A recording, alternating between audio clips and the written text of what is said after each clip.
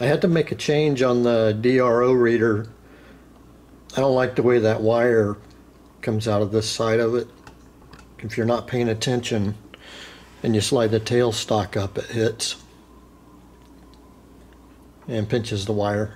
So I'm gonna see if I can turn it around so the wire comes out of the other side. We'll see how that looks. Well, it looks like that's gonna work. I can run the wire in between those two spacers. And I rounded that off with the uh, belt sander so it's not sharp.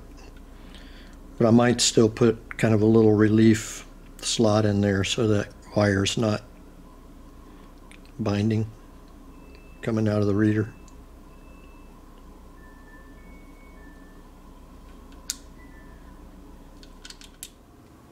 I got it all put back together. I think that's going to be better.